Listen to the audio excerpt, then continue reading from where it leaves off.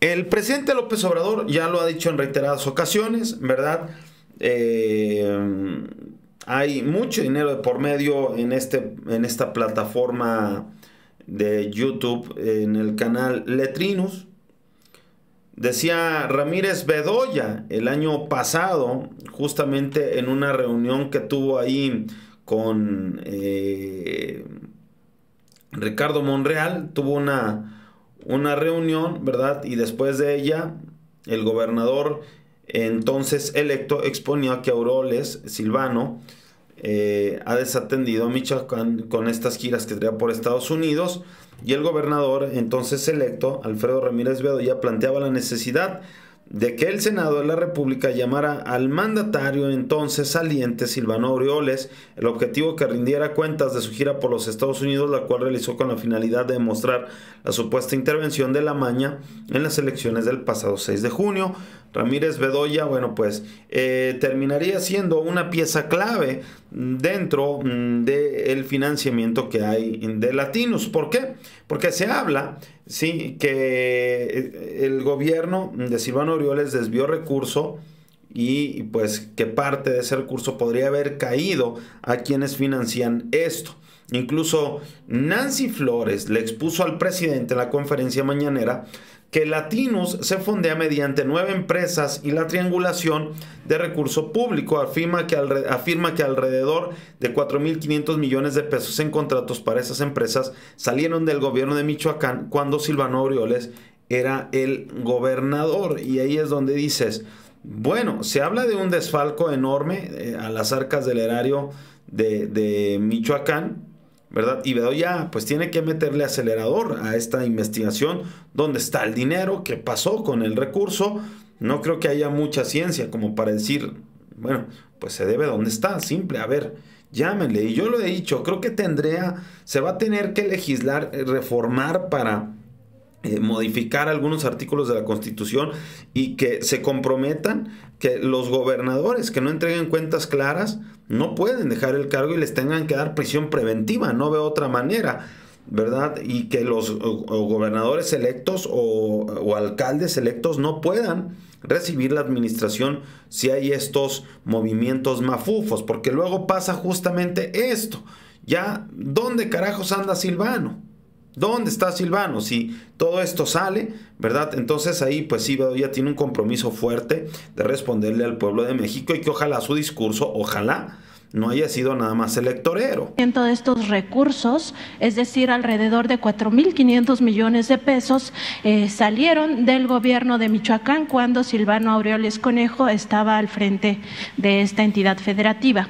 En ese sentido, bueno, eh, ya sabemos que este perredista salió del país por todas las investigaciones que se están eh, llevando a cabo por presuntas defraudaciones durante su administración. Y bueno, lo que encontramos es que este recurso curso se eh, obtuvo, estos contratos eh, se obtuvieron la mayoría por adjudicación directa y además eh, pues corresponden a este periodo de 2018 a 2022. Entre otras cosas, hay algunos incumplimientos de contratos, por ejemplo, en el caso de los servicios de mastografías, tanto en Michoacán como en Oaxaca, pues encontramos que estos servicios no se habían brindado a las mujeres a tiempo, en algunos casos ni siquiera se habían dado los servicios contratados y esto significa pues un daño para estas eh, mujeres porque cuando ya hay presencia de cáncer. ¿Qué tal? ¿Verdad? Fuerte lo que decía eh, Nancy Flores de Contralínea. ¿Verdad? Incluso el presidente decía, había tres empresas de políticos o de traficantes de influencias que le vendían al gobierno cerca de 60 mil millones de pesos en medicamentos y equipos, ha comentado el presidente sobre el reportaje que documenta el desvío de recursos de sector salud para este medio de comunicación. Mira, esto es lo que decía el presidente de, México. Bueno, em, lo que estás eh, exponiendo es cierto, es este, lo que sucedía y todavía eh, pasa en menor eh, escala, porque esto era lo que imperaba, el negocio en las medicinas, en la compra de los equipos médicos. Siempre lo hemos dicho, habían tres, cuatro eh, empresas que le vendían al gobierno medicamentos y equipos.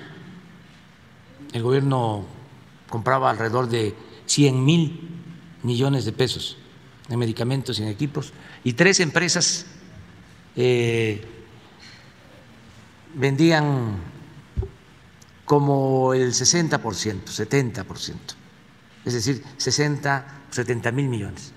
Y esas empresas estaban vinculadas al gobierno, eran empresas de políticos o de traficantes de influencia. Por eso ¿Qué tal, verdad? Ahí está parte de lo que decía en esta mañanera.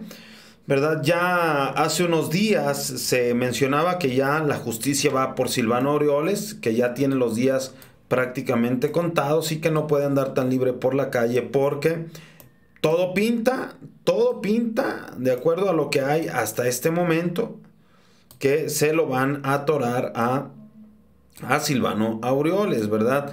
La justicia va por este vato. Hay un desfalco, aquí lo vemos, de 50 mil millones de pesos. Eh, acumula procesos legales ya en su contra. La fiscalía está abriendo una investigación por el presunto acto de corrupción. Ya eh, el gobierno de Bedoya interpuso seis denuncias por enriquecimiento ilícito, tráfico de influencias, peculado y su relación con la maña. ¿Verdad? Desde varios frentes se estrecha el cerco en torno al exgobernador perredista de Michoacán, Silvano Aureoles, señalado por la administración de Alfredo Ramírez Bedoya de haber cometido estos delitos que le citaba, ¿verdad? La denuncia contra Aureoles se acumulan aparte de la carpeta de investigación que se encuentra abierta en su contra ahí en la Fiscalía General de la República, pues el actual gobierno estatal ya presentó recientemente las propias ante instancias del ámbito federal y local contra el exmandatario y varios de sus colaboradores. Agárrese porque esto se va a poner bueno. A lo anterior se añaden observaciones realizadas por la Auditoría Superior de Michoacán por la realización de obras de deficiente calidad, así como una demanda de juicio político contra el anterior titular del Ejecutivo interpuesta ante el Congreso del Estado por una organización de productores que denunció anomalías en un programa ganadero. Ya eh, está atorado Silvano Aureoles, ¿verdad? Este vato, este, pues se la va a ver complicada, muy, muy complicada, ¿verdad? Porque hasta ahora es difícil cuantificar el monto total del recurso público que podría haber sido erogado de manera irregular por este gobierno anterior, que cada vez salen más y más y más eh, cochinadas de lo que dejó Aureoles, es lo que ha dicho el secretario general del gobierno, eh, Carlos Torres, en entrevistas para medios de circulación nacional. No obstante, al sumar la voluminosa deuda pública heredada y daños directos al erario que se han documentado en las denuncias, este vato comenta que la cifra rebasaría los 50 mil millones de pesos, entre, los, entre ellos 20 mil millones en créditos bancarios y más de 5 mil millones de los seguros. Se habla de 13 mil millones de adeudo a proveedores y 9 mil millones de pasivos a instancias gubernamentales, incluida la nómina atrasada de los maestros, así como varios miles de millones correspondientes a presuntos malos manejos detectados. Por lo pronto ya el gobierno de Michoacán anunció les digo, hace unos días que ya presentó las primeras seis denuncias en materia penal derivada de esta irregularidad en el gasto público durante la pasada administración. Incluso la Secretaría de Contraloría, Azucena Marín Correa, la secretaria, perdón, refirió que, eh, que cuatro de las denuncias fueron interpuestas contra exfuncionarios y el representante legal de una empresa privada ante la Fiscalía, esta en materia de delincuencia organizada y el combate a la corrupción, también en la UIF y en la sub, eh, Subprocuraduría Fiscal de Investigación de Hacienda. ¿Qué son los probables delitos de agravio del gobierno michoacano? Enriquecimiento ilícito, ejercicio indebido de funciones, tráfico de influencias, cohecho, se habla de peculado, asociación delictuosa, delincuencia organizada y operación con recurso de procedencia ilícita. ¿Verdad? Prácticamente tiene eh, eh, los días contados. Silvano Aureoles, ¿verdad? Que incluso, mire, aquí se habla que eh, Silvano Orioles, investigado por el desvío de 300 millones de pesos del gobierno de Michoacán para Roberto Madrazo, el desfalco al gobierno del estado de Michoacán durante la administración de este vato, pues ya sabemos que está por los cielos, ¿no? Este desfalco millonario, ya hay estas denuncias, pero se habla de esta investigación a Silvano, el ex gobernador de Michoacán, porque otorgó al menos 300 millones de pesos a empresas vinculadas a Roberto Madrazo y a su familia, que a su vez financian a Latinus, ¿no? Latinus vinculada a Roberto Madrazo, ya lo sabemos. Decía el presidente López Obrador, Roberto Madrazo, muy amigo de este grupo, de este crew de farmacéuticas, ¿verdad? Eh, complicadas. Lo veíamos como lo dijo, ahí fuerte y claro en, en, este, en esta conferencia, ¿verdad? Y, lo ha venido marcando durante la agenda. Es un tema latente ahí de, por ejemplo, Latinos, Loret de Mola y todo esto. Pero bueno, Silvano Orioles debe de dar, debe de dar eh, ya mm, la cara y, y, pues esperemos la fiscalía haga lo propio, ¿no? Póngale like al video, damitas, caballeros, regáleme su comentario si es tan amable, agradeceré como siempre su suscripción al canal si nos ve a través de YouTube, comparta, pero lo más importante es su comentario.